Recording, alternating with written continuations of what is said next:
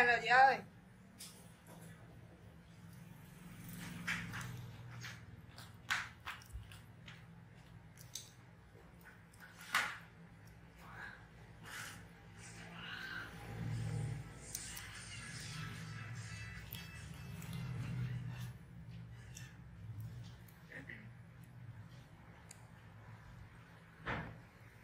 Nhỏ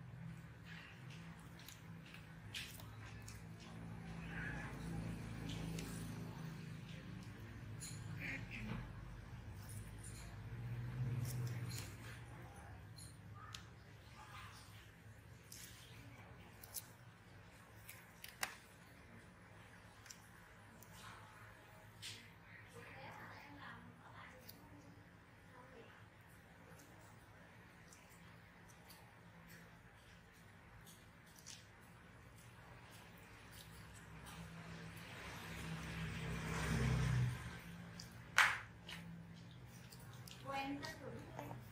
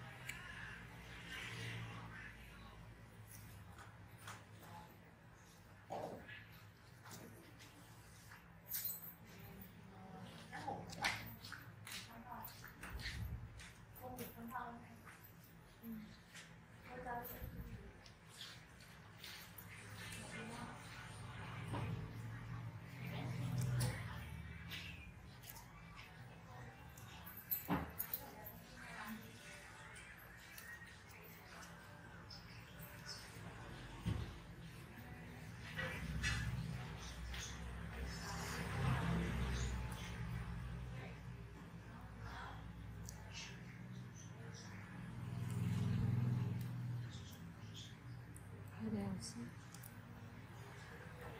哇！